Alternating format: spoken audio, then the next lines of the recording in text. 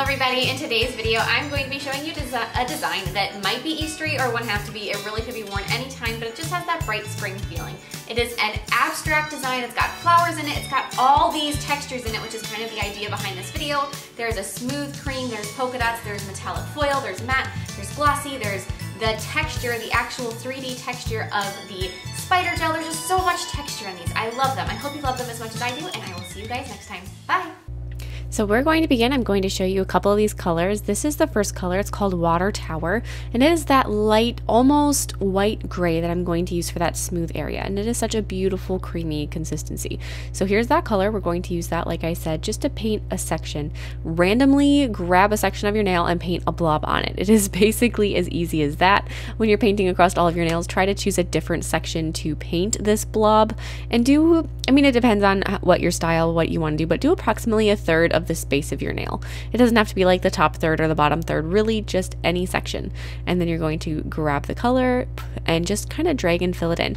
The one thing that's kind of fancy about this video compared to most of mine is that for the most part, it is in real time. There's not much that is sped up about this video, so you can really get an idea of the time it takes me to paint when I'm painting these things. So usually when I'm showing you, my videos are about four times the speed, four to six is I would say standard, but this one we're going to just take our time and do slow. This section is a little bit sped up though, just because it's the same. After you have the first coat done, go ahead and do a second coat just to make sure that it has a nice, you know, smooth top to it. Again, this section, this texture, we want it to be smooth.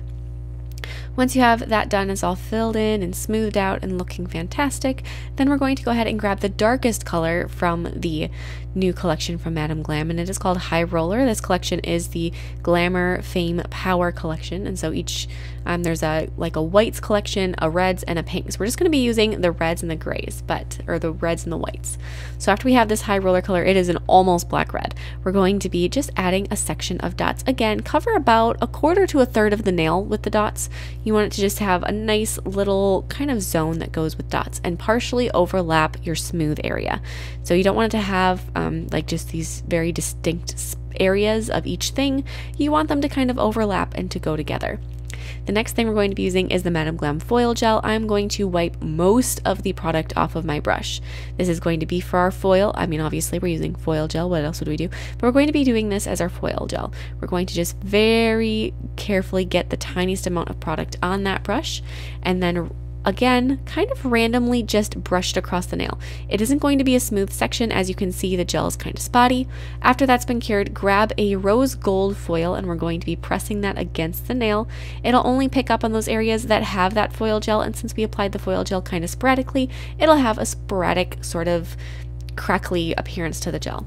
We're going to use a, cup, a coat of the Velvet top coat from Madam Glam, which is their matte no wipe top coat carefully applying that over the whole nail. I'm going to make sure I sort of float it up and over the foil, especially just to have a little bit more protection over the foil. After that's been cured, as you can see, it looks absolutely fantastic with that matte on it. I'm going to be taking some spider gel and I'm going to first just try to make a dot of spider gel in a certain location and then after you have that dot, you kind of go back to the dot and you pull and stretch the spider gel around to make these flower petals. It is not an exact process. Don't try to make it an exact process. Sort of have fun with it. If you end up where your spider gel doesn't really want to stretch anymore, you can go back into the pot of spider gel, grab some more, and then add it to the original dot that you made. But otherwise, just keep making these dots. Like I said, this is in real time. I don't do things very quickly.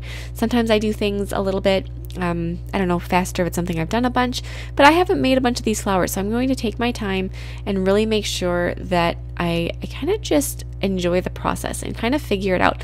That's sort of the fun thing about doing something new is that you get to figure it out. And while that might be kind of daunting, I don't know.